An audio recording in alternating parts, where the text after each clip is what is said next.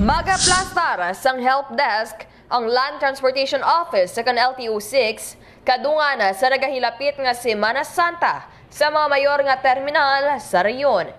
Sa interview sang Radyo Bandera Iloilo kay LTO6 Regional Director Leonard Tabaldo, magasugod din sa Marso 31 tubtub Abril 10, kag siro pa kay Tabaldo, magapatigayon sila sang random inspection sa Madalanon kag terminal Kaga pagatsekaron ang roadworthiness sa mga public utility vehicle o PUV, lakip na ang compliance sang mga driver.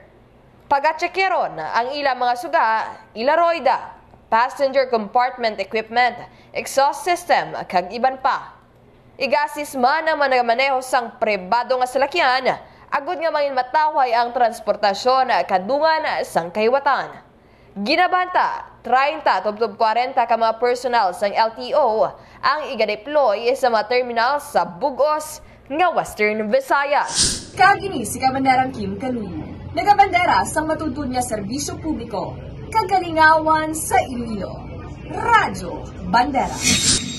Ang ining nga balita ang ginadulong sa inyo sang DTX Coffee Mix. Himo sa natural nga sangka pareho sang amarkuso, chia seeds, desugared sugared cane extract powder. DTX Coffee Mix. Nakakapi ka na, naka-detox ka pa. DTX Coffee Mix. Mabakal sa mga butika.